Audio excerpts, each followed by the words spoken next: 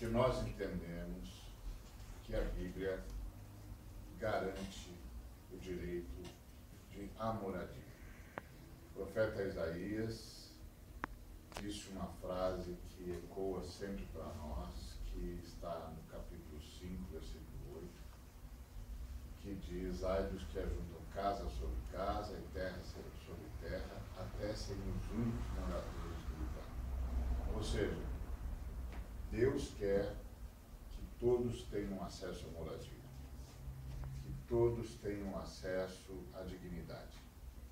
E nós reconhecemos que a luta de todos os que estão nas ocupações é uma luta legítima. Não apenas uma luta legítima, como ela é apoiada pelo próprio Deus, como uma ação de busca pela dignidade humana.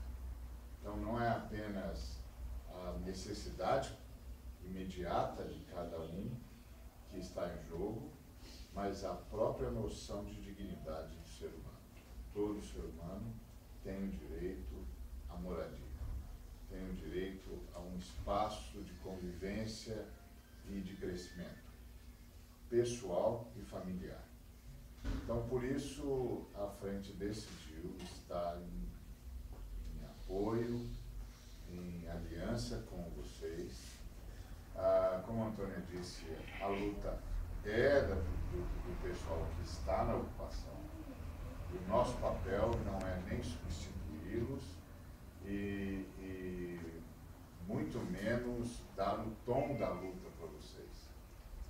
Pelo contrário, nós esperamos que vocês digam para nós como nós podemos apoiá-los na, na sua luta. Então a luta é, é, é de vocês, vocês vão tomar as iniciativas que entenderem, vão decidir o que acham que é mais adequado e nós estaremos aqui no apoio.